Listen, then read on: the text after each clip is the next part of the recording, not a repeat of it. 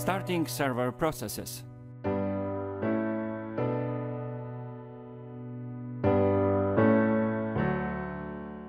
One of common problems appearing during Sybase installation is that after the installation has been done and the server was restarted, Sybase is not starting automatically. But first things first. How to test if the server is running or not? Assuming you are logged on as a sub-user and you have already started the Sybase script to recreate the environmental variables, you can start the show server command. This command should show some information about Sybase processes active at the moment, but in this time nothing was displayed. This means Sybase is not running. Why?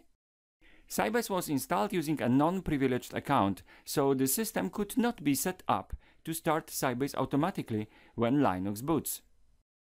Our goal is to have such configuration in place. Let's first look at the catalog of the sub installation. Sybase Engine was installed in the ASE 16.0 catalog. There is a lot of files there. The most interesting at the moment is the directory install. Let's list the content of the catalog. There is at least one file called run file. There should be so many run files as you have servers installed so in our case, the Sybase database is one server and a backup server is the another. Let's look into that file. The file is a script. It starts with the shebang telling the shell how to interpret the code in the script. In the next lines you can see there is a line starting data server. This program is a database engine server. The backslash at the end is just information that the command continues in the new line. Indeed, those are parameters telling how to start the server. Option D points to the master device. Server needs that option to know the location of the master device. Option E points to the error log file. If server has some problems when starting, then it's high probable that uh, some information will be saved into the error log. Option C points to configuration file where a lot of parameters are defined that determine the way Sybase works. Option M is used by shared memory components. Option N points to license file.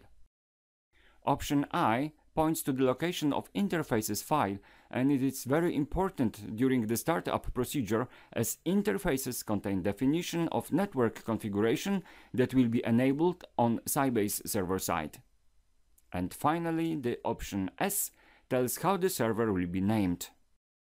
So now, if you would like to start Sybase, you would issue following command.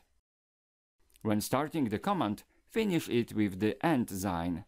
This character tells that the process should be started in the background.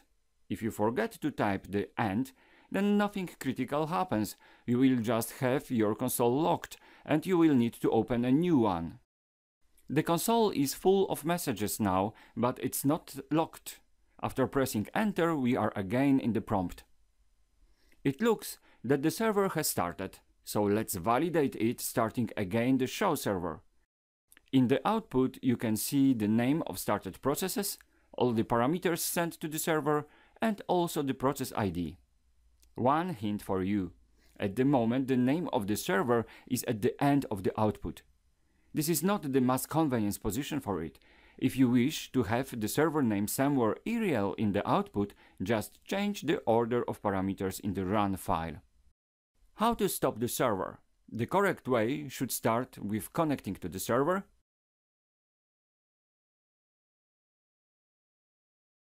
and next executing the shutdown command.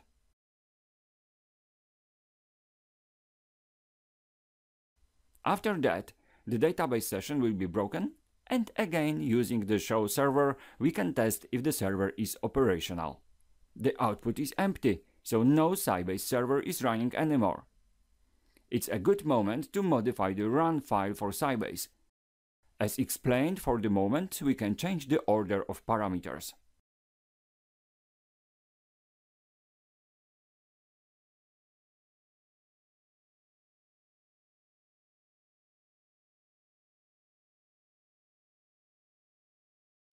After saving the file, server can be started again.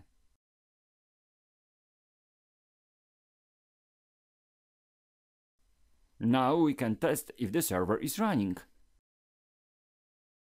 Show server displays information about running process, what means Sybase is up. Now the name of the server appears at the beginning.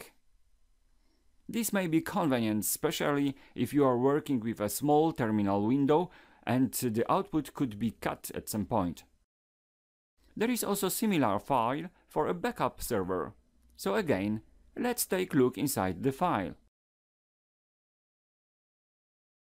Backup server binary program is backup server. To start, following options are required. E is for error log. N and C tells about allowed number of connections to the backup server. I points to the interfaces file. M points to executable required by the data server to speed up the buffer operations. And finally, the S option determines the name of the server. So again, we can change the default order of parameters so that the name of the server will be in the first line of the output from show server command.